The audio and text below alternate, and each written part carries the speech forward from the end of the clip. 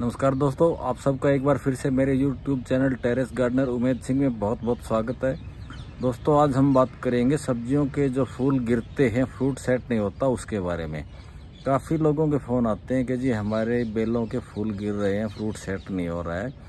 और स्पेशली उन लोगों को ज़्यादा समस्या आ रही है जिन्होंने अभी अभी नई गार्डनिंग शुरू की है, पहला या दूसरा सीज़न है उन लोगों का। उनको सबसे पहले तो मैं यही बताना चाहूँगा कि बेल पे हमारी कोई भी सब्ज़ी वाली बेल है, बेल वर्गीय जितनी भी सब्ज़ियाँ हैं, सब पे मेल और फीमेल फ्लावर्स दो तरह के फूल आते हैं। मेल फ्लावर्स का लाइफ एक या दो दिन का ही होता है, वो सुबह और शाम दोनों टाइम ब्लूम होता है, दिन में वैसे ही मुरझा जाता है वो। और मेल फ्लावर का काम सिर्फ़ पोलिनेशन करना होता है, उसके अलावा उसका कोई काम नहीं है। पोलिनेशन एक दो दिन में मधुमक्खियों के थ्रू, तितली के थ्रू हो जाता है। अगर पोलिनेशन की समस्या आ रही है तो आप हैंड पोलिनेशन भी कर सकते हो। सुबह और शाम दोनों टाइम ये फूल ज़्यादातर खिले हुए मिलते हैं। दिन में ये बंद हो जाता है। तो दोस्तों, जो फीमेल फ्लावर है, उस पर ही फ्रूट सेट होगा। मेल फ्लावर्स का काम सिर्फ़ पोलिनेशन करना होता है। सबसे पहले तो मैं आपको यही पहचान करवा दूँ कि मेल फ्लावर कौन सा है और फीमेल फ्लावर कौन सा है। देखिए, मैं अभी आपको दिखा देता हूँ। देखिए, ये मेल फ्लावर्स हैं। एक सूखा हुआ दिखाई दे रहा है, आपको एक ताज़ा दिखाई दे रहा है। ये जो ताज़ा दिखाई दे रहा है, ये भी कल मुरझा जाएगा। ये भी आपको दिखाई दे रहा है, लेकिन इस पे साथ में फल लगा हुआ है। और ये आपको मैं दिखा दूँ, हर पत्ते के साथ एक मेल फ्लावर लगा हुआ है।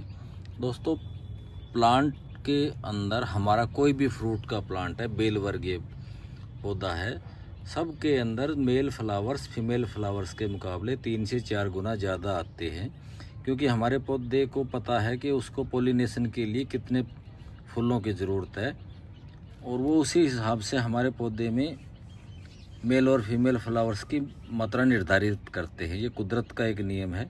अगर आपको फूलों की मात्रा बढ़ानी है तो आप एक लीटर लस्सी के अंदर 10 ग्राम आंवला पाउडर डाल के एक हफ़्ते के लिए छोड़ दीजिए और एक हफ़्ते के बाद आप उसको 10 लीटर पानी में मिला के अच्छी तरह से छान के और आप उसको अपने पोट्स फ्लावर्स के ऊपर फ्रूट प्लांट्स के ऊपर, बेलों के ऊपर स्प्रे कर दीजिए। आपको कोई समस्या नहीं आएगी। आपके पौधे का जो फूल आएगा, वो हेल्दी आएगा फ्रूट है, वो भी स्वस्थ आएगा और टेस्टी भी आएगा।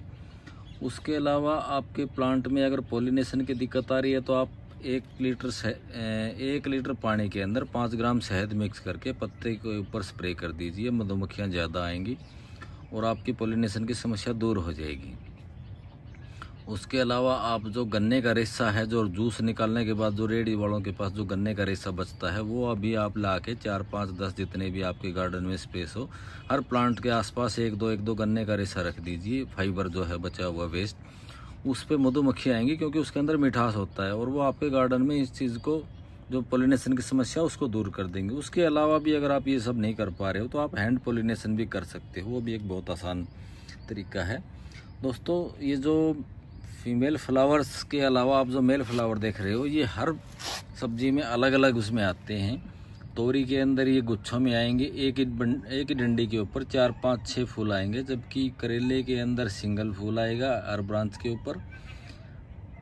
तोरी में, ककड़ी में, खरबूजे में, तरबूज में, ये सब एक सिंगल डंडी पे आएँगे, लेकिन तोरी के अंदर ये मल्टीपल आता है।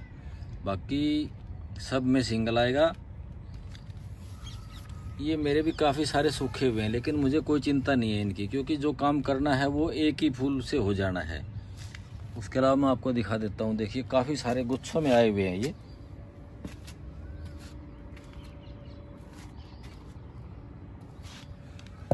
ये देखिए, सारे सिंगल सिंगल ब्रांच पे एक एक फूल आया हुआ है। और मैंने कोई इसकी टू जी या थ्री जी कटिंग भी नहीं कर रखी है, ये सब नेचुरल है।